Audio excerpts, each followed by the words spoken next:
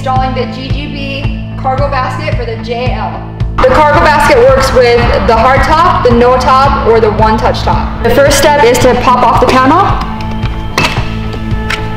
and expose the factory holes. Next, we're installing the bracket into the factory holes with the bolts.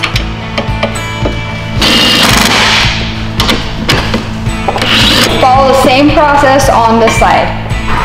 Once the both brackets are in, you're ready to mount the cargo basket. It's easier with two sets of hands and to lay the back seats down.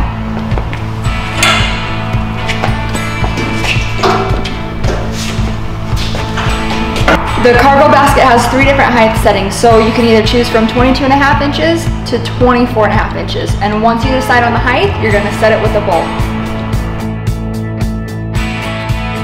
Once all six bolts are in place, you can fasten them with the wing nuts.